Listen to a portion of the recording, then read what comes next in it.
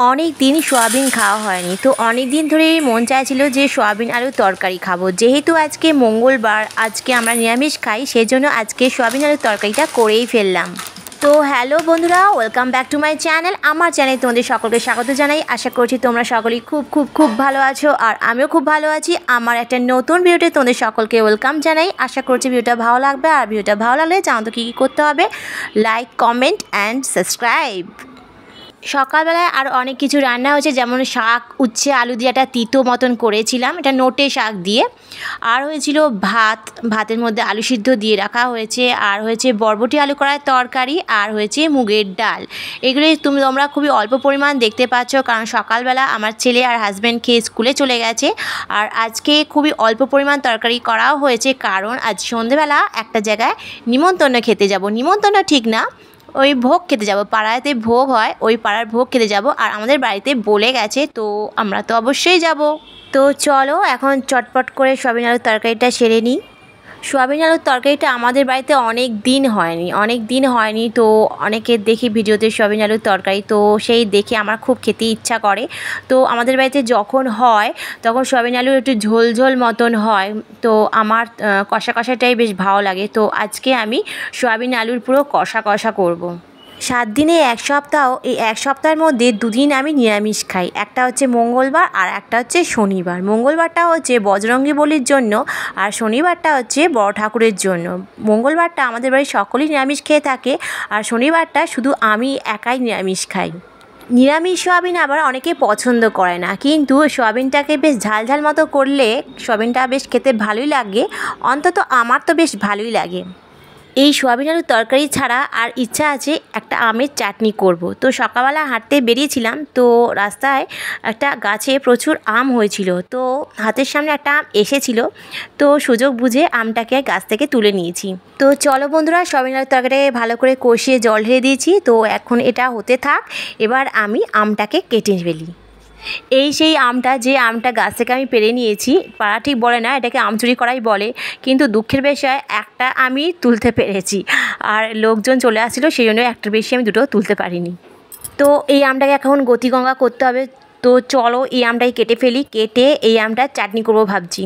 প্রতিদিন ভোরবেলা হাঁটতে যাই তো দেখি একটা গাছে প্রচুর আম হয়ে থাকে, প্রচুর আম হয়ে থাকে। তো আজকে একটা ডাল পুরো রাস্তার দিকে চলে এসেছিল তো সুযোগ বুঝে একটা পারতে পেরেছি। আর দেখো কাটার পরে আমটা দেখো পুরো হলুদ। তো চলো একটা টেস্ট করে দেখি। তো দারুণ ছিল, একদম মানে পুরোপুরি টক ছিল না।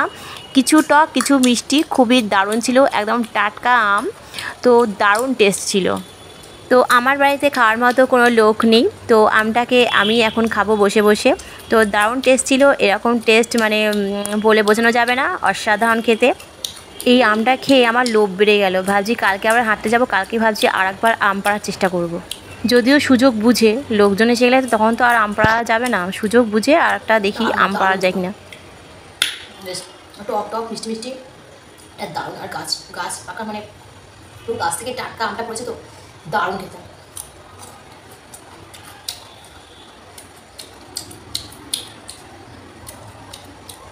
তোমরা কেউ খাবে খাবে চলে আসো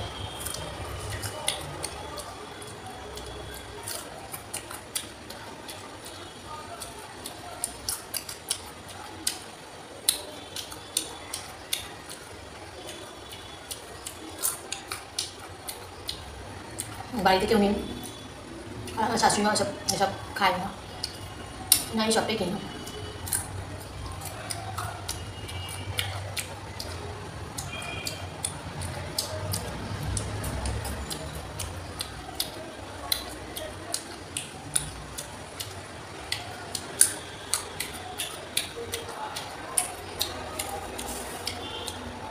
দারুণ টেস্টি দারুণ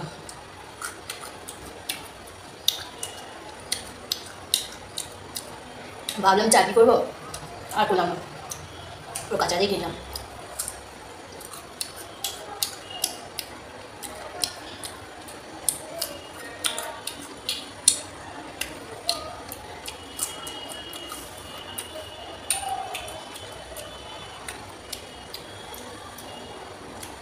আর এদিকে আমার আম খাওয়া শেষ, আর এদিকে দেখি আম খাওয়ার পরে সবিনের তরকারিটা দেখি কী অবস্থা হয়েছে। সবিনের তরকারিটা ঝোলটা কমে এসছে শুকনো শুকনো হয়ে গেছে।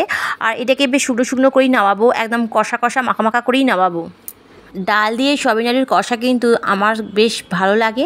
আর তার সঙ্গে যদি পটল ভাজা হয়, তো আর কোনো কথাই নেই। কিন্তু দুঃখের বিষয়, পটল আমাদের ঘরে এখন নেই। তো সুতরাং পটল ভাজাটা করতে পারলাম না। তো যাই হোক, তিতো শাক দিয়ে তিতো আছে সবিন আলুর তরকারি, বরবটি আলুর করার তরকারি, আর ভাবলাম যে চাটনিটা করব, তো সেটা তো আর হলো না। চাটনিটা করতে গিয়ে দেখলাম যে আমটা পুরো কাঁচা পাকা হয়ে গেছে। তো ওই চাটনি, ওইটা, ওই আমটা দিয়ে চাটনি করলে ভালোও লাগবে না। তো আমটা পুরোপুরি কাঁচাই খেয়ে নিলাম। তো চলো সবিনার তরকারি আমার হয়ে গেছে। এবার দুপুরবেলা লাঞ্চটা সেরে নিই। লাঞ্চটা সেরে নিয়ে তোমাদের সামনে আবার সন্ধেবেলায় আসছি। সন্ধেবেলা পাড়ার বজরংবলী মন্দিরের ভোগ খেতে চলে এসেছি। এখানে লোকের লোক ভোগটা খাইয়েছে রাস্তার মাঝখানে, এখানে গাড়ি ঘোড়া সব বন্ধ করে দিয়েছে। শুধু টেবিল পেতে দিয়েছে, বসার চেয়ার দেয়নি। তো যাই হোক, ঠাকুরের ভোগ খাবার জন্য কিন্তু বেশ ভালোই ভিড় হয়েছিল। আমার হাজবেন্ড ছাড়া বাড়ির সকলেই ভোগ খেতে গিয়েছিলাম। আমরা সকলেই ভোগ খাবার অপেক্ষায় দাঁড়িয়ে আছি এখনও অবধি প্লেট দিয়ে যায়নি। তো যাই হোক বন্ধুরা, দাঁড়িয়ে থাকার কিছুক্ষণের মধ্যেই প্লেট দিয়ে গেছিল। আর তার সঙ্গে পাতে পড়েছিল একদম গরম গরম পোলাও, আলুর দম, চাটনি, বোঁদে, পায়েস। তো অসাধারণ হয়েছিল ভোগটা খেতে। রাস্তার মাঝখানে দাঁড়িয়ে এইভাবে ভোগ খাওয়ার একটা আলাদাই কিন্তু আনন্দ আছে বন্ধুরা। বজরংবলির ভোগ খেতে সবাই উপস্থিত হয়েছিল। এখানে কিছুক্ষণের জন্য গরিব বড়লোক সবাই এক হয়ে গিয়েছিল গরিব বড়লোকের কোনো ভেদ ছিল না। সবাই পাশাপাশি বসেই ভোগ খেয়েছে। এটাই হচ্ছে ঠাকুরের একটা আলাদাই মহিমা। তো বন্ধুরা, ভোগ দেওয়া শুরু করে দিয়েছে। তো চলো, আমরা সকলেই এবার খেয়ে নিই, খাওয়া শুরু করে দিই। ততক্ষণে তোমরা ভিডিওটা অবশ্যই দেখতে থাকো। আর তোমাদের যদি ভিডিওটা ভালো লেগে থাকে, তো অবশ্যই আর লাইক আর কমেন্ট করে জানিও। আর কমেন্টে অবশ্যই জানিও যে তোমরা কারা কারা এরকমভাবে রাস্তায় দাঁড়িয়ে ভোগ খেয়েছো। আর আমার চ্যানেলে যারা নতুন ভিউয়ার তার চ্যানেলটাকে অবশ্যই সাবস্ক্রাইব করে দিও। আজকের মতন এই পর্যন্তই। আবার অন্য কোনো একটা নতুন ভিডিও নিয়ে তোমাদের কাছে হাজির হয়ে যাব। আজকের মতন, টাটা।